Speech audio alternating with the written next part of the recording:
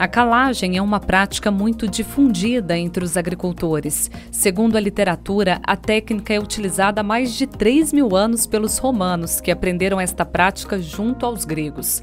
A função básica da calagem é anular efeitos tóxicos do alumínio, promover no solo teores adequados de cálcio e magnésio e adequar o pH para que os nutrientes macro e micro se tornem assimiláveis pelas raízes de diversas culturas. O calcário, uma das principais funções do calcário é corrigir o pH do solo, correção da acidez do solo, a correção do pH. Além disso, é, ele fornece cálcio e magnésio para a planta, que são os macronutrientes essenciais para a planta, que a planta exige em grande quantidade. Um fator muito importante a se considerar sobre a calagem é o tempo de reação do calcário nos solos, que depende do poder de neutralização, o PN, e do poder relativo de neutralização total, o PRNT.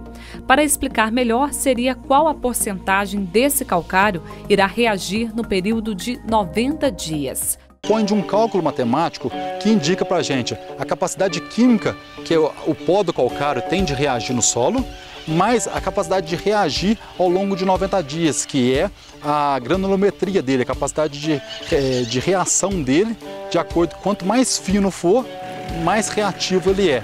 E a junção desses dois é, indicadores faz, forma o cálculo do PRNT, que é expresso em porcentagem, quanto mais alto for, mais solúvel ele é. Por isso, um calcário de qualidade passa a ser fundamental para garantir resultado.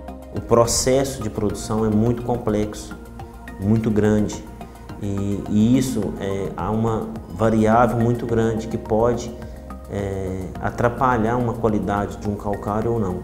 Na solo fértil, toda a qualidade do calcário passa por um criterioso processo de avaliação. Então, com o controle que a gente tem de produção, de, de análise do calcário, é, tanto na, na, parte de matéria-prima quanto o produto já final, para já entregar, produto pronto para entregar para o produtor. E vale ressaltar que a aplicação do calcário é fundamental para os produtores que buscam altas produtividades.